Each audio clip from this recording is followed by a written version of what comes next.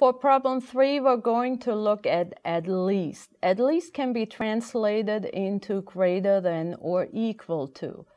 Let's take a look at this statement. The sum between x and 8, again, x plus 8 is at least 4. So is 4 included, yes or no? At least means 4 or more. So greater than or equal to 4.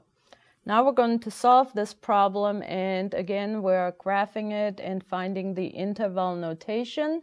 To get x by itself we're subtracting 8 again. x is greater or equal to negative 4. The number line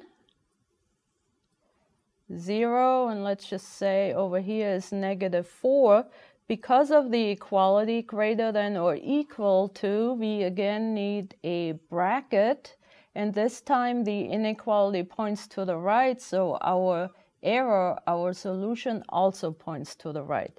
The interval notation, look at your number line, and exactly as your number line, you write bracket, negative 4, and all the way to the right would be infinity. So negative 4 to infinity with a bracket on negative 4.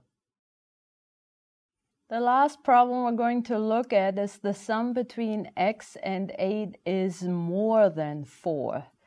x plus 8 more than 4, so this time 4 is not included. We need a strictly greater than inequality more than 4. We solve for x. x is greater than negative 4. Our graphical solution would be negative 4. Now this time greater than negative 4. Negative 4 is not included.